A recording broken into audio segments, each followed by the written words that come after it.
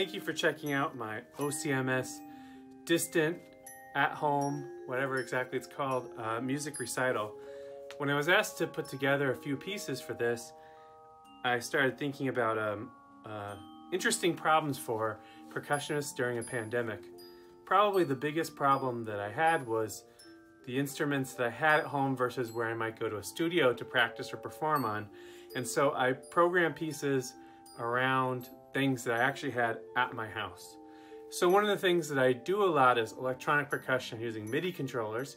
So I knew I wanted to, to do that. The first piece that I programmed is called Orgel by Takayoshi Yoshioka.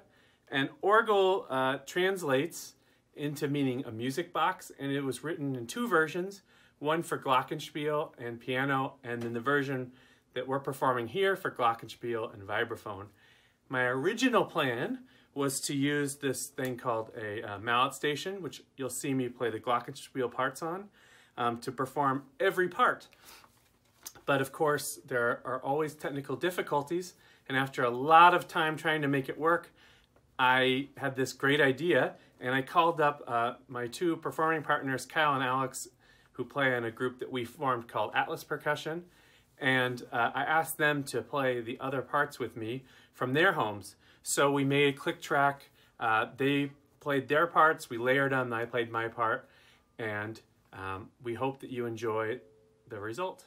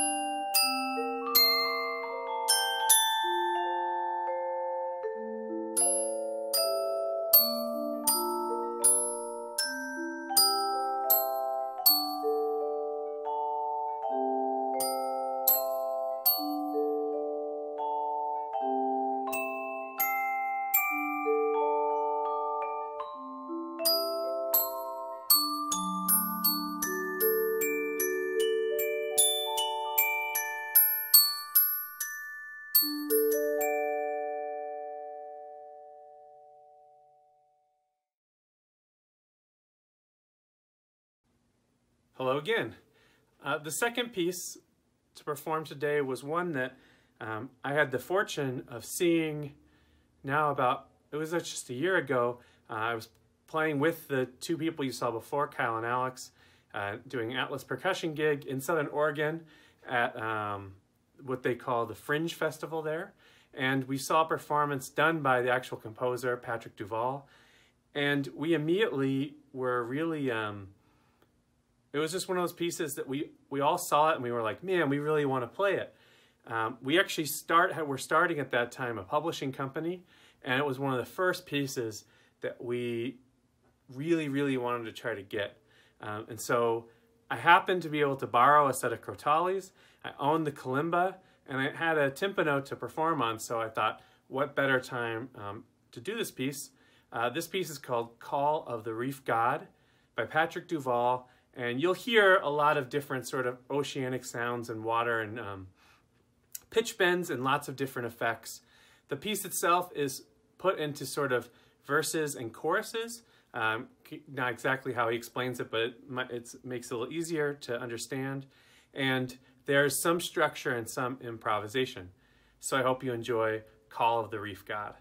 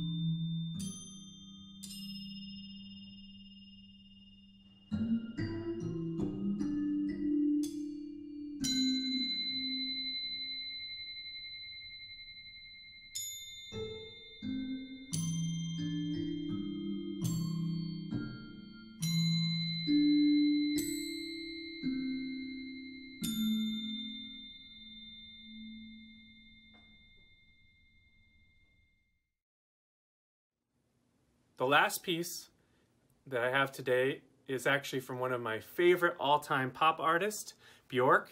Um, and when I was trying to think of collaborations or what I could do with electronics, um, I knew that I wanted to maybe do this piece, and I knew it was a chance uh, to work with Alma, who I got to know as a student at UNO, and perform this piece with, gosh, I think when we did it the first time, it was four years ago, and then we um, did it uh, two years ago as well.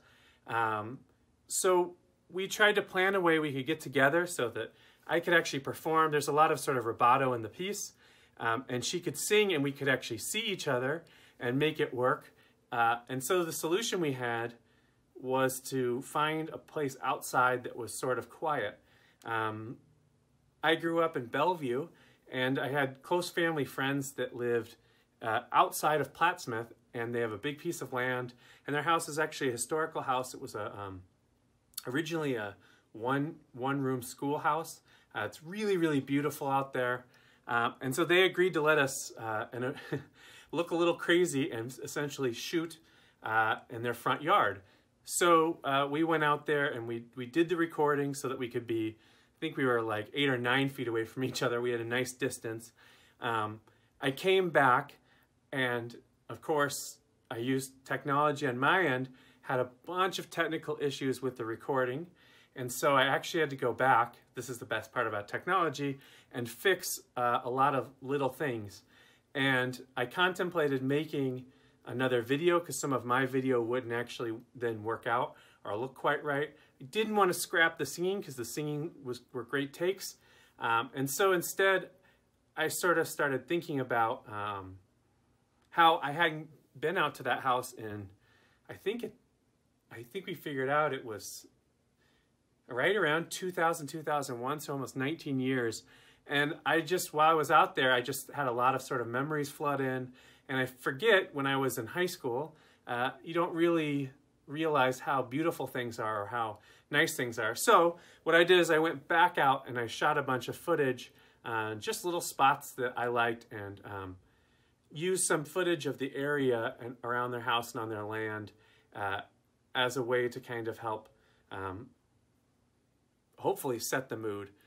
The song itself is about being near the ocean. We don't have an ocean, but I thought about some of the beautiful landscape that we have um, nearby and tried to shoot it as best I could. Thank you again for watching all these videos. It's been a it was a great time, and thanks to all the uh, OCMS staff and Danny and everybody who um, is working really hard to give opportunities to people like me and musicians to uh, uh, be able to perform for you in these very strange times. Thanks.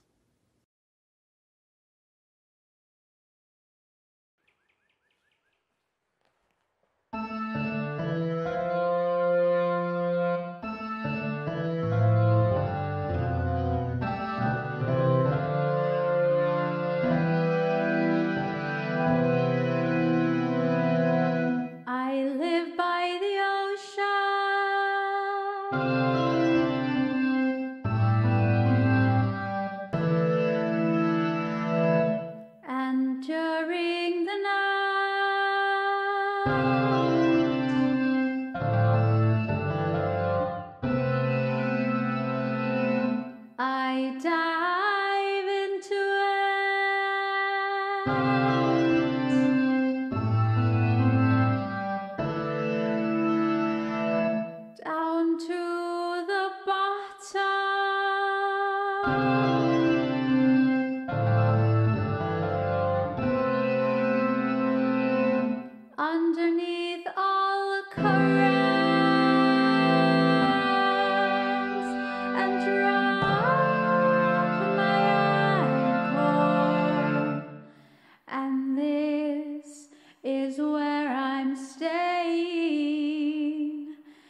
This is my heart.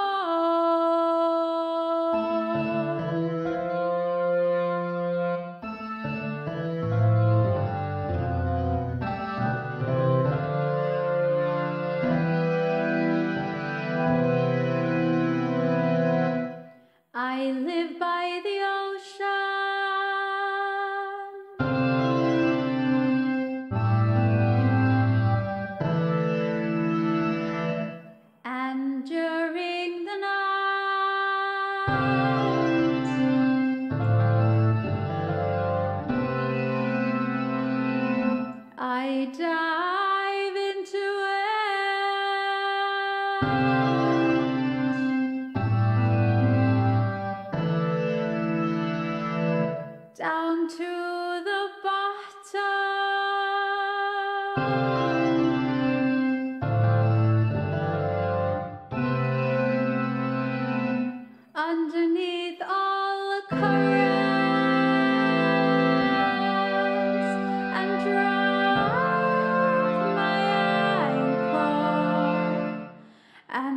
this is where I'm staying.